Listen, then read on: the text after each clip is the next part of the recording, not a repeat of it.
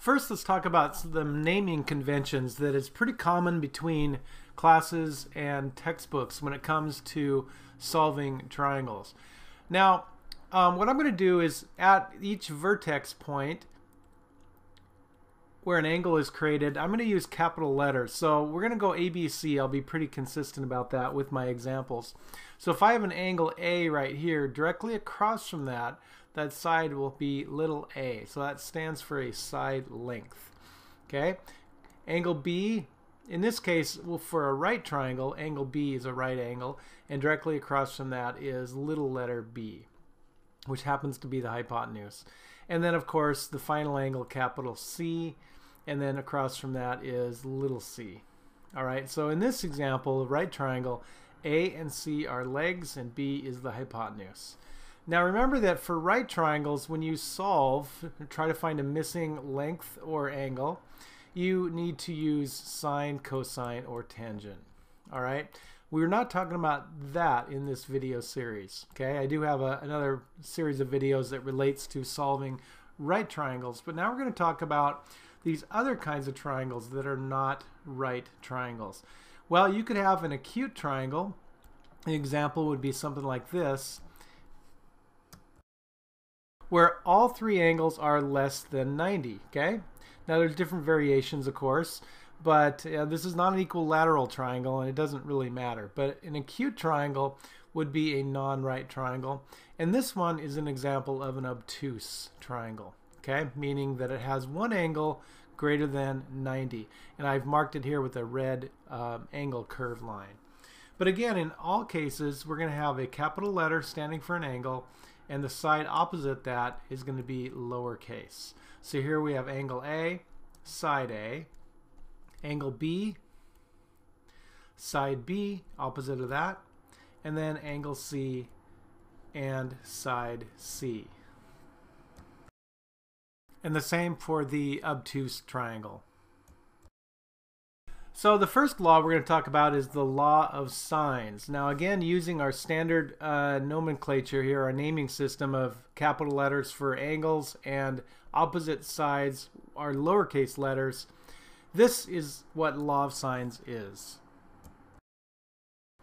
Now the law of sines talks to us about the ratio of the sine of an angle compared to its actual opposite side length. So the sine of angle A over A, that relationship is the same as sine of angle B over side B and the sine of angle C over uh, sine of a angle C over um, side C. All right, it's a relationship between the sine function of an angle and its opposite side.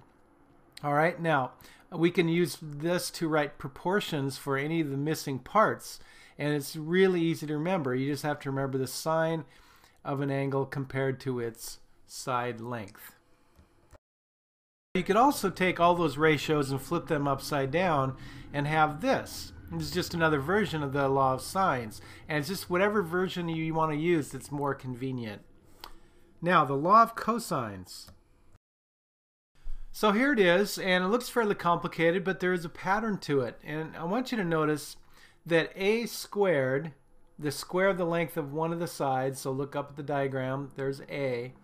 Okay. Also at the very end we have cosine A. Okay. So this is one way to remember it. Is that if you pick out one of the three sides, A or B or C, and you isolate it and say A squared, in the law of cosines, you're going to have the cosine of that angle. All right. And then notice how we have b squared, c squared, and then b and c there, okay? Notice it's all b's and c's here other than that cosine. Now this has two other versions. Notice that it's b squared equals a squared plus c squared minus 2ac. Notice the a and the c here are related. And at the end we have cosine b. So on the left it's b squared. On the very end of the right it's cosine b. And with the c version here, we have c squared there and cosine of c there. So that's why it's called the law of cos cosines. So the big question here is when would you use the law of sines? When do you use the law of cosines? Now in the future videos here, you're going to see examples worked out and you're going to have a chance to practice this and we'll talk about when you use each version. But for now, let me give you kind of the short version. If you know the information given in the triangle is angle, angle, side. Okay? Here's what that means if you know one angle and another angle and a non-included side all right angle angle side as you go around the triangle then you would use the law of sines another case would be angle side angle that's two angles and an included side such as angle A angle B, and its included side C. Angle, side, angle. So in those two cases, you would use the law of sines and pick out which part of these ratios you would use.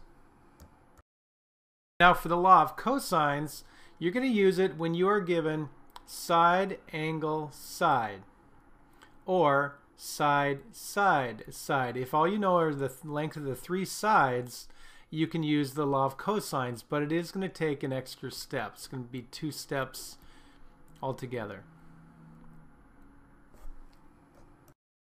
What do I mean by side angle side? Well, if we have side B and side C, we have to also have the included angle A. All right, side, angle, side. Another example would be side B, side A, and its included angle there, C, side, angle, side.